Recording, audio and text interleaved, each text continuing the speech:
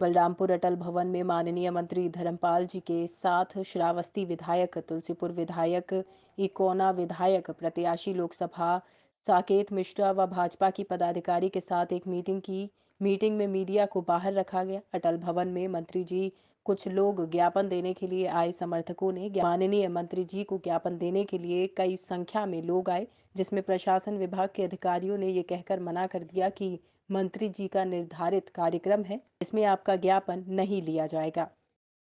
इसी तरह आपने देवरिया से उठा के यहाँ पे प्रत्याशी भेज दिया गया है देवरिया से उठा के प्रत्याशी भेज दिया गया है ये भी वैसे होंगे जीतेंगे जीतने के बाद देवरिया जाएँगे तो इनको हम देवरिया खोजने जाएँगे बाइक से। लेकर अपनी समस्या लेकर कहाँ जाए? यहाँ पे आए यहाँ पे पार्टी के अध्यक्ष द्वारा मुझे भगा दिया यहाँ पे भगा दिया गया सब कार्यकर्ताओं के बाहर करो भगाओ।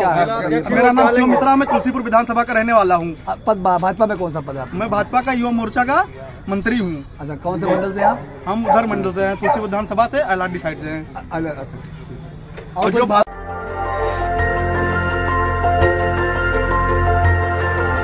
देखते रहिए डीवी भारती समाचार नज़र हर खबर पर।